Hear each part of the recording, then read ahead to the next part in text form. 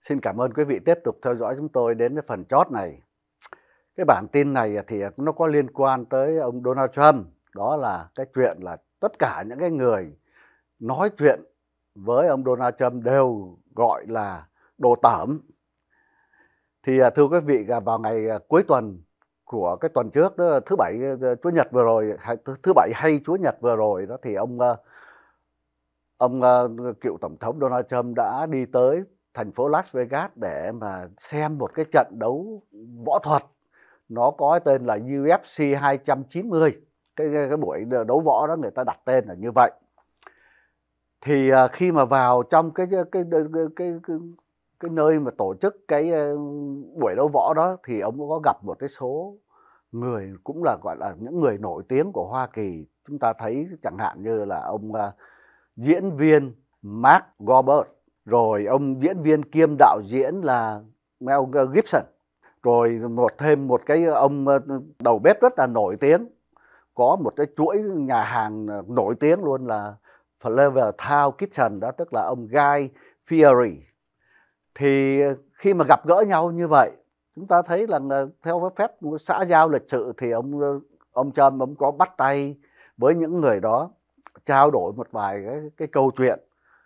thế nhưng mà đối với những cái những cái người mà chuyên môn mà săn ảnh những cái người nổi tiếng chuyên nghiệp đó tức là những cái uh, paparazzi đó là những cái hình ảnh rất là đáng đáng giá đó thành ra họ chụp lia lịa. Sau đó những cái hình ảnh mà ông ông, ông Trump bắt tay những cái người nổi tiếng đó được đăng tải trên những mạng xã hội để câu like câu view gì đó thì nó gây ra một cái những cái sự sự phản đối âm mỹ ở trong cái phía mình gọi là phía bên cấp tiến bên bên phe tả đó.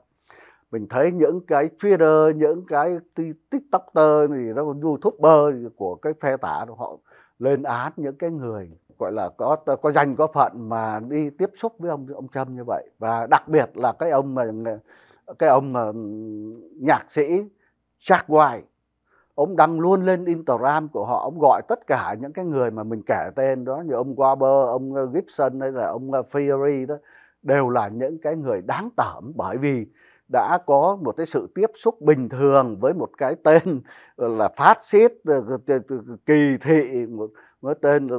đã bị chuất thuế hai lần là ông Trump. Và ông Chuck White nói rằng là tất cả những người nào mà có một cái một cái liên hệ xã hội với lại ông Trump tôi đều gọi là đều đồ tởm hết. Đó là cái ông nói rằng đó là cái kết luận của tôi không có bàn cãi gì thêm nữa và ký tên chắc oai luôn rõ ràng như vậy. Thì thưa với quý vị rõ ràng là những cái hình ảnh đó là những cái hình ảnh mà những cái người kia người ta không muốn có nhưng mà tại vì những cái cánh săn ảnh á, thì người ta chụp được là thôi đối với cái bản thân của ông Trump thì chúng ta biết đây là một cái nhân vật luôn luôn luôn gây ra những cái biến động của xã hội và nó gây ra tranh cãi. Thành ra có những rất là người mà yêu ông thì cũng rất là nhiều, nhưng mà người ghét ông thì lắm. Còn những người thù ông thì cũng là vô số chứ không không ít gì. Thế nhưng mà ông là một cái chính trị gia, ông mới biết được cái điều đó. Ai cũng biết cái điều đó và ông mới chấp nhận cái điều đó thì chúng ta cũng không nói gì, làm gì thế nhưng mà thực sự đối với những cái, những cái người như chúng ta vừa kể những người gặp gỡ với ông thì có lẽ cũng chỉ vì vấn đề lịch sự vấn đề xã giao thì người ta cũng chỉ bắt tay trao đổi một cái vài ba câu vớ vẩn rồi xong rồi đường ai nấy đi thì ờ, việc ai nấy làm. Mà buông lời gọi là mạt sát một cái cách nặng lời như vậy thì nó có thực sự là nó có đáng hay không? Và nếu như mà chúng tôi rõ ràng là ông Jack White rất là ghét ông ông ông Trump về cái thái độ của ông Trump. Thế nhưng mà ông Jack White này lại vô tình lập lại một cái thái độ không nên có của ông Trump là là, là, là, là chế nhạo người ta một cái cách quá kịch liệt như vậy thì không biết nên là cái thái độ mà mà mạt sát người ta một cách vô lý như của ông Jack White đó thì nên gọi là cái gì? Thì có lẽ đây là cái chuyện mà mình thấy là cái ông Jack White này nó ông nó, từ trước đến nay đó, ông luôn luôn ông hễ mà có dịp đó là ông cứ lại lên lên mạng xã hội ông đả kích ông Trump dữ dội. Thành ra tháng 11 của năm ngoái đó khi mà ông ờ, Elon Musk là tuyên bố rằng là cho phép ông Trump sử dụng lại những cái tài khoản của Twitter đó thì ông Jack White này ông cũng gọi ông ờ, Elon Musk là đồ tởm và coi như bỏ luôn cái tài khoản của ông ở trên Twitter bởi vì dám cho phép ông Trump uh, ờ, là, là, là, trở lại sinh hoạt bình thường ở trên Twitter đó. Đây là cái, cái thái độ mà người Việt Nam mình hay nói là, là thương nhau thì thương cả đường đi mà ghét nhau thì ghét cả tông chi họ hàng. Cho nên bất kỳ một ai mà dính líu tới ông Trump là ông chắc oai này ông đều coi như là lên án là đồ tởm hết. Thế thì à, ở đây chúng ta có một cái câu hỏi là những cái người mà rất yêu mến ông Trump mà gần như là không có lý do chính đáng nữa, thì người ta gọi là cuồng châm còn những người ghét ông châm một cách hết sức là dữ dội mà cũng không có lý do thì mình cũng không biết gọi là cái gì bây giờ và cái bản tin cuối cùng này thì chúng ta sẽ có một cái tên gọi là sở thú của Toronto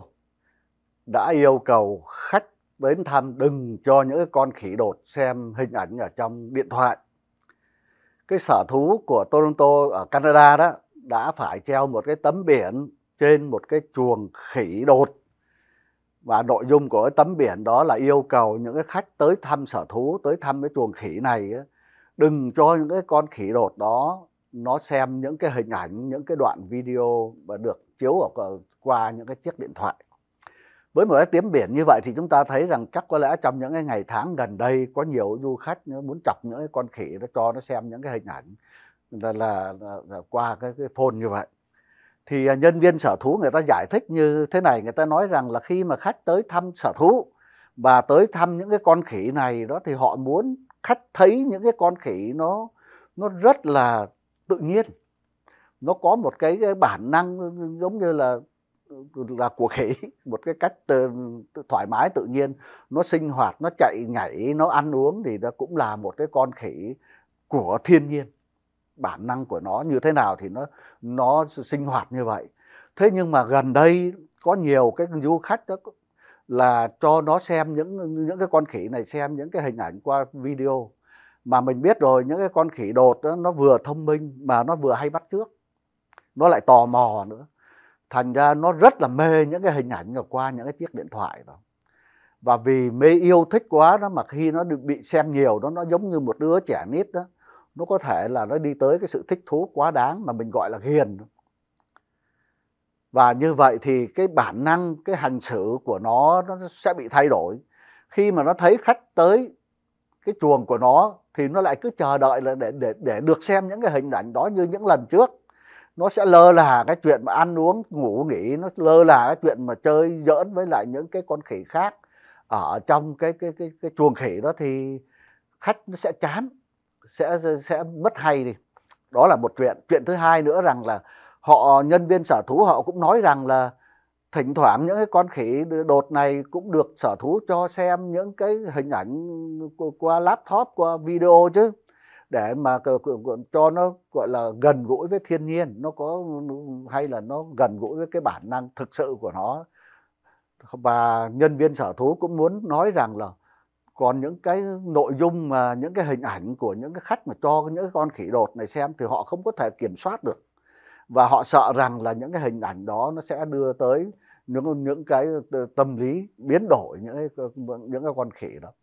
cái sự lo lắng của nhân viên sở thú hoàn toàn là chính đáng. Chúng ta phải một cái điều mà chúng ta rất dễ hình dung ra là những cái vị khách nào đó mà muốn cho những cái con khỉ xem hình ảnh hay là đoạn video nào đó thì có lẽ họ muốn trêu chọc nó. Họ biết rằng những cái con khỉ đột nó thông minh, nó nó hay bắt trước nó, thành ra họ cho những coi những cái hình ảnh có mình biết chắc là nó không phải là cái thứ hình ảnh lành mạnh để hy vọng rằng là những con khỉ đó nó sẽ bắt trước nó, nó theo những hình ảnh nó làm cho họ coi. Mà chúng ta thấy rồi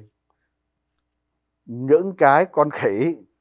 nó bản chất của nó là khỉ mà bây giờ nó lại còn được cho xem những cái hình ảnh để nó có thể làm những cái trò khỉ